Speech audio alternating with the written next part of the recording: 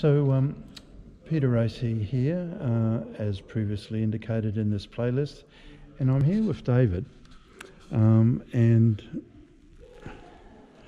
we are at the Hexham Abbey, and what would you call this section? This this is one of the very original sections, isn't it? Uh, well, not quite original, but it's one, of, one of the oldest sections which still alive. Is still. Um, we are talking several hundred years uh, old. We're talking, uh, yeah, just about um, a thousand years old here. Yeah, so um, would we say okay, not original. It's still fairly. Yeah, and in the best part of a thousand years. Yeah. Old. But there's been monastic.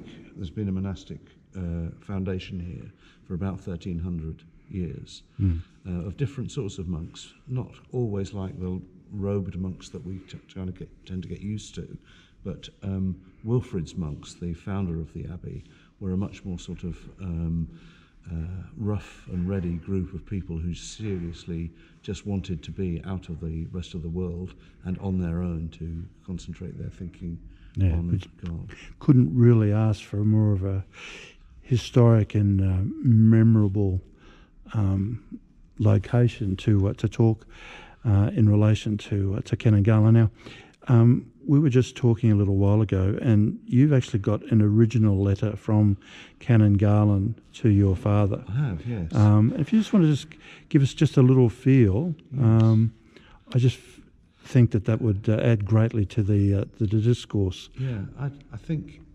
May I read some of it? Yes. Um, so this is a written letter written um, from PO Box 47A, GPO Brisbane in October 1936, which of course was a year of huge change because of the abdication of the king, and um, that's mentioned within it here.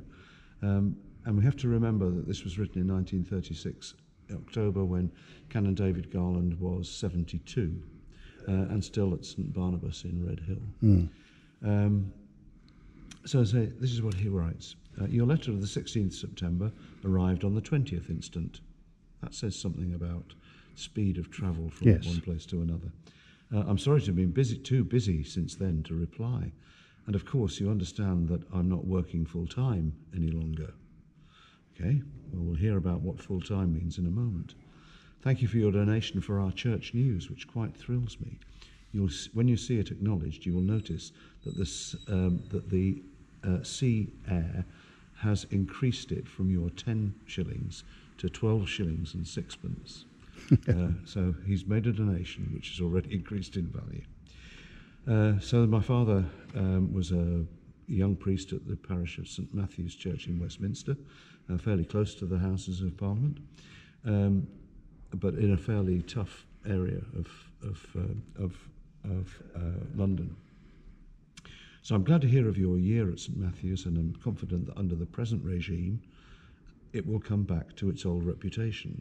This is a priest in Australia who is aware enough mm. of what the parish in London is doing and how it's probably fallen a little bit flat and is beginning to raise itself up again. That's quite remarkable. Um, your mother writes me wonderful letters, though too few, but I'm not complaining as it's very good of her to write at all of course, I realise that her health is very weak. October 1936. His sister, um, my grandmother, um, who was very weak in health as early as 1936, lived with us in our family, um, where we lived together as a family, and died in 1959. So she did remarkably well very. to keep going for a further 20 years. So she, was well into her 90s then? Uh, she was uh, 1871 was she born, died 1959, 80s. Oh. Um, you'll be interested to hear about last Sunday. In church by 6.30 for celebration and sermon, full congregation, then to a daughter church for the same at 9 o'clock. Then into the city for a junior Red Cross service at the Anzac Memorial at 10.30. This preventing me looking after three Sunday schools. 11 o'clock, baptism, churching, and sermon when my colleague celebrated. 5 pm, parochial council. 6 pm, men's quarterly tea. 7.30, evensong and sermon. Not bad for, for a septuagenarian, and none the worse on Monday. Um, And that's what he writes in the letter. That's what he writes in the And letter, yeah, uh, which is extraordinary, really, that somebody at 72 in a big city like Brisbane is running across the city to do various bits and pieces in various different places. Um, he talks a little bit about his son, who lived there and was a bridge engineer, and his grandson, um, who at that age, at that time, was age nine. Um, and then he reports, I'm glad you went to see your uncle, aunt, and cousins. So that is the family in Ireland, in Dublin, yep. um, who also were quite globe-trotting family. Uh, and I've got some nice pictures of, um, of uh, my father's aunt and his mother sitting together in a country area in Wicklow. And he goes on to say this you, you may wonder why I never returned to England. But one reason is I spoke against bishops going home so often and neglecting their work here. And another was I always had something to do or to finish, and it is only now that I should long to see my relations. Of course, it is too late. He didn't return to Ireland or to England following his um, emigration to Australia in 1886. His parents died, his siblings died, other things may well have happened in the family, but he was committed so deeply to his job in, uh, in Australia that he wanted to stay there throughout and show the bishops how it should be done. I think that will probably also go to the reason why the Canon Garland pectoral cross actually was um, gifted back uh, as a as a as a statement of what, solidarity.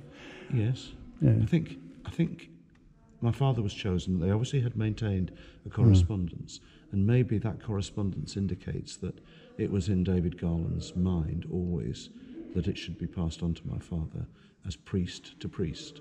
Uh, and I think he, he gave it for that reason that he he felt that it would be best protected and and revered and made significant by it remaining within a priestly con- context. Um, and that has happened, and he was right in a sense to do that because it remained guarded by my father as a as a as an important um, uh, um, relic um, within the church in, in, in, in England. Where we've arrived at now, and this may also have been in David Garland's mind, who can say, that its return or my planned return for it for it to return to Brisbane is also important. Uh, it was protected in those years when it just might have been used for something else, but now is the right time, uh, it, I feel, to have it uh, set back in Brisbane where he worked so well. and we'll uh, wind up uh, this particular YouTube on, on that note. And um, I think we've we'll be able to really explore in detail over the, the next little while um, those topics and other topics. Yeah, I hope so. Yeah, I mean, every conversation leads somewhere, doesn't it? And, Yes, it does. A great thing. No worries. So I'm so grateful to you, Peter, for making this record and keeping all these pieces, these strands of his life and the strands of what's important, uh, held together in one common place. And with that, um, we'll cut off.